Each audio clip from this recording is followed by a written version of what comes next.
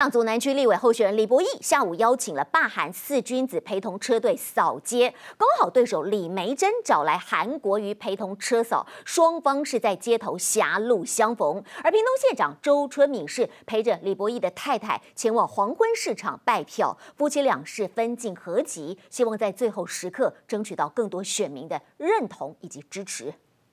罢韩四君子跟着民进党左南区的立委候选人李博义车队扫街，受到选民热烈欢迎。刚好下午前高雄市长韩国瑜也陪着李梅珍车队扫街，双方还在街头狭路相逢。罢韩四君子陪同，但可以困求最低高雄人不选过，袂晓做代志的市长。一看到。韩国瑜要来帮我的对手扫街的讯息之后，哈，然后把这个图卡看到他，他一秒回说，哎，他也可以来，啊，所以就也连带我们。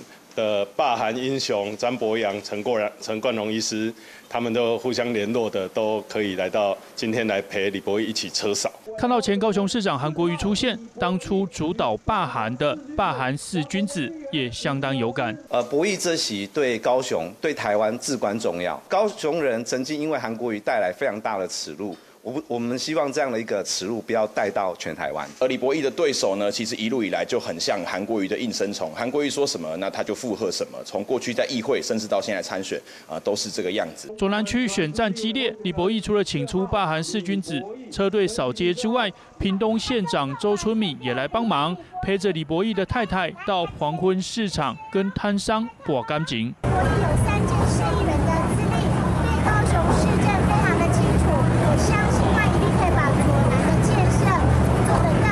选前倒数，对手李梅珍找韩国瑜站台，李博义则是跟霸韩四君子合体，希望能够唤起选民在霸韩运动时的记忆，争取更多选民的认同。记者郭旭辉，SNG 小组高雄报道。